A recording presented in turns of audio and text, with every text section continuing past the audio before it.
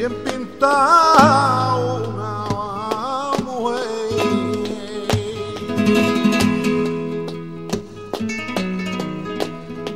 Y puso un loco en sus manías